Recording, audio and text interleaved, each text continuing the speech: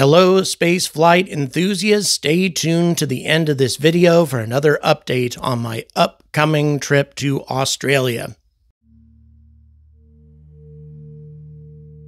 Over two months ago, I released a video sounding the alarm bells regarding 2024 YR4 and its potential impact on the moon.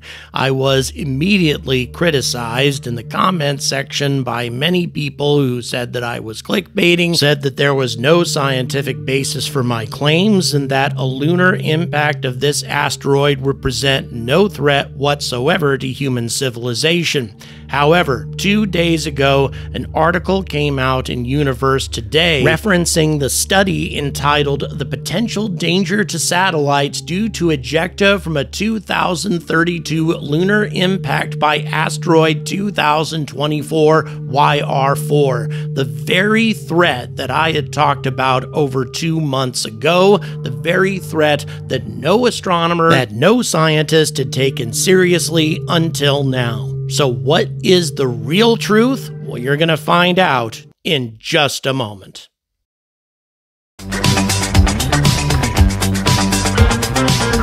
Good afternoon, spaceflight enthusiasts, and welcome to another Angry Bulletin. Not going to spend as much time on this one simply because I just released a video about this topic a couple of weeks ago, and I don't want to just rehash all the same details. But the fact of the matter is, a lot of new information has suddenly come out, both in terms of where 2024 YR4 is likely to impact on the moon, should that impact take place, but more importantly, recently, a team of astronomers have finally decided to take people like me seriously and research what the potential consequences might be if 2024 YR4 were to impact on the moon in 2032. Not the consequences to anybody on the Earth's surface, but rather the consequences to our incredibly important satellite network. Now, I want to be 100% clear. I am not claiming that I am somehow more clever, more well informed than all of these highly educated people. I just happened to research the topic and look for papers that were published in the past about a scenario just like this one. And I found one, one that was put out by a person far cleverer than I, an astronomy student at Arizona State University about 20 years ago, about a potential lunar impact. And interestingly enough, that study came to a lot of the same conclusions that this new study is coming to. And so finally, after all this time that astronomers have simply looked upon a lunar impact as being just kind of a cool thing to where we can learn a lot about impact craters and about asteroids, that sort of thing, without any sort of significant threat to our civilization. Well, we're finally starting to realize that things could be a lot more serious than that. And by the way, imagine how disappointed I was when I discovered that the UniverseToday.com article linked a YouTube video by Fraser Cain about 2024 YR4, which was released over a year ago and had nothing to do with the potential lunar impact. I can't imagine that these folks are completely unaware of the work that I've done on the topic. I just think that maybe my content is a little bit more risky for mainstream scientific websites to link. All that having been said, though, let's go ahead and talk about the article. Quote Shortly after astronomers detected asteroid 2024 YR4 on December 27, 2024, they realized it posed no threat to Earth, but it still might impact the moon in 2032. The impact debris could threaten satellites and trigger an extraordinarily stunning meteor meteor shower. Asteroid 2024 YR4 is about 53 to 67 meters in diameter. It's the same size as the asteroid responsible for the Tunguska event in 1908. As I've mentioned before, that's not necessarily a good comparison to be making because that particular object was probably a cometary fragment that melted as it was passing through the atmosphere and airbursted over Siberia as opposed to digging a crater. All that having been said, though, let's go ahead and continue. It has about a 4% chance, it's actually a little bit more than that, of striking the moon in 2032. And if it does, it will excavate a crater about one kilometer in diameter. It will also send about 100 million tons of debris into space. This cloud of debris could pose a hazard for satellites. The research is titled, quote, The Potential Danger to Satellites Due to Ejecta from a 2032 Lunar Impact by Asteroid 2024 YR4 and has been submitted to AAS journals. The lead author is Paul Wiegert, who, by the way, is a very respected asteroid expert from the Department of Physics and Astronomy and the Institute for Earth and Space Exploration at the University of Western Ontario. Incidentally, Paul Wiegert is the same scientist who released a paper about the potential of a small object impacting Apophis during its approach to Earth and changing its trajectory just enough to possibly impact. And according to his research, the odds of Apophis hitting the Earth are now higher than NASA was originally thinking. And incidentally, he implemented this study about a month or two after I released a video about this very topic. I can't help but wonder if he watches my channel.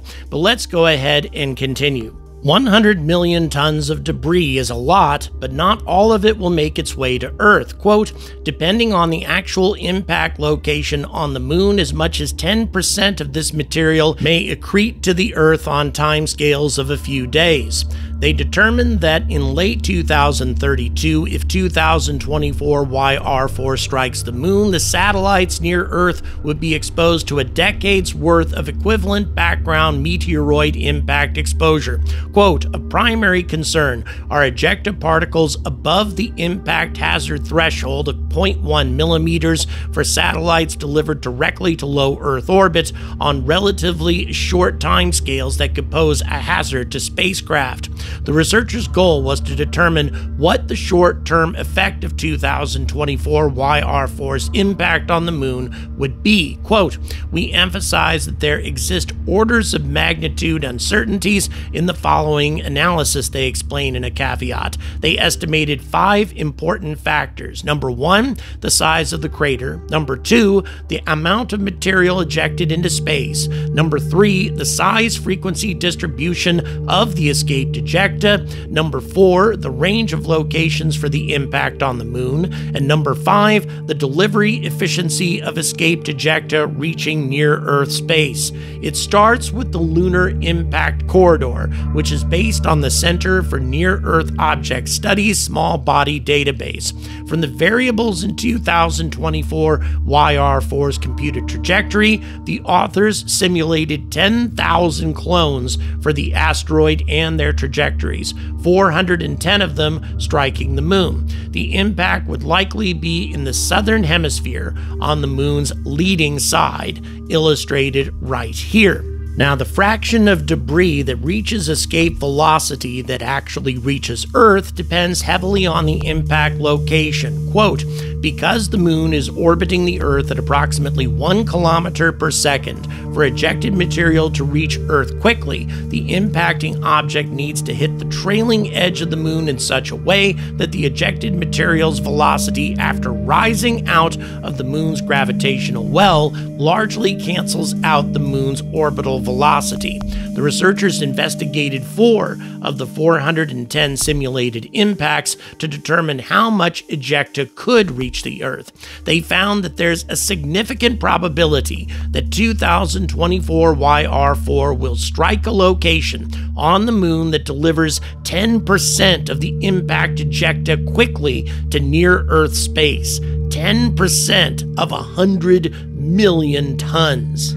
According to the researchers, compared to the typical meteoroid threat that our satellites face on an annual basis, the instantaneous flux could reach 10 to 1,000 times the background sporadic meteor flux at sizes that pose a hazard to astronauts and spacecraft. This increased environmental exposure of our satellites to debris would accelerate their aging and shorten overall This is particularly true for satellites in low Earth orbit, which constitutes the majority of satellites. Almost 90% of all satellites are in low Earth orbit. This will all occur during the few days of maximum ejected delivery from a 2024 YR4 impact, according to the researchers. By 2032, the number of satellites will grow, and so will the low Earth orbit satellite cross section, increasing the risk and potential damage. Quote, given the very large total exposed area for satellites by 2032, it becomes possible that hundreds to thousands of impacts from millimeter sized debris ejected by a lunar impact from 2024 YR4 will be experienced across the entire satellite fleet. However, by 2032, the risk could encompass more than just satellites. Our presence on the lunar surface could mean more dangerous exposure. Quote, the ejection of material from the moon could be a serious hazard to moon orbiting spacecraft, such as the Lunar Gateway, but would likely pose even greater dangers to any lunar surface operations, given that most ejecta mass will accumulate over a wide swath of the moon, according to to Wiegert and his co researchers. As it stands, the odds of 2024 YR4 impacting the moon in 2032 are relatively low, only about 4.3%. And in 2028, the asteroid will pass harmlessly by Earth, giving astronomers another opportunity to observe it and constrain its future trajectory. That will lead to more accurate determinations of the potential impact site, which will lead to an updated understanding of the risk that the debris poses. But once again, we're only talking about a four year time frame from the 2028 observation to the moment of impact. That's not a lot of time to plan out a mission, build a spacecraft, assign it to a rocket, and get all of that thrown together in time to deflect an asteroid like 2024 YR4. And after further study of this paper, I found another potential consequence to a lunar impact above and beyond everything that we've talked about so far. Quote In addition to increased flux over a few days, there's also material delivered to long lived, as in months to years, Earth orbits that could pose an ongoing concern to space based assets. These could affect operations of meteoroid sensitive space platforms over longer time frames frames. This includes things like space stations. Now, although the International Space Station will not be in orbit by 2032, the commercial space stations that are supposed to replace the ISS will definitely be around. And it would be terrible timing indeed to have large clouds of damaging debris threatening these space stations so soon after their deployment. Also, an enormous waste of resources, time, and money.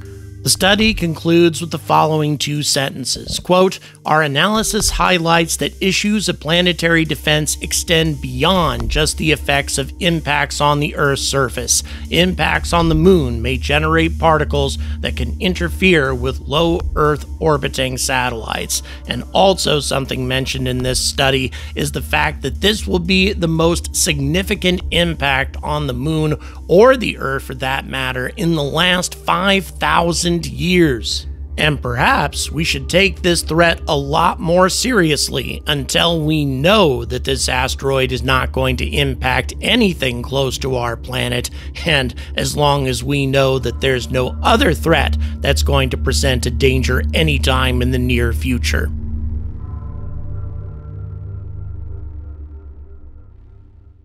So there you have it. Hope you enjoyed that. And I hope that others begin to take this warning a little bit more seriously now, especially given the fact that people with actual degrees have released a study on the topic, as opposed to irritating YouTubers like myself. But all of that having been said, let's talk real quick about Australia again.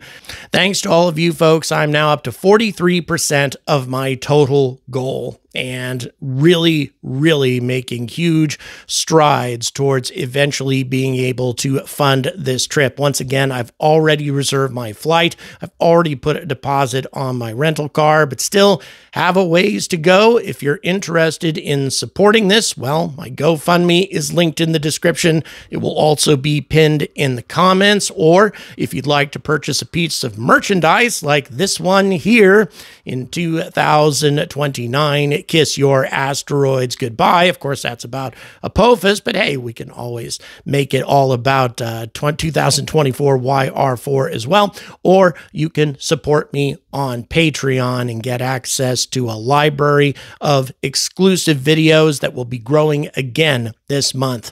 Thank you so much for watching. Until next time, stay angry about space.